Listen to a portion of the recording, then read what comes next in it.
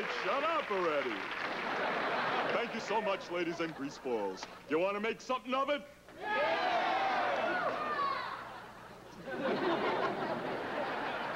You know, in this crazy jet age we live in, it's sometimes easy to get caught up in the frantic tempo we seem to have set for ourselves.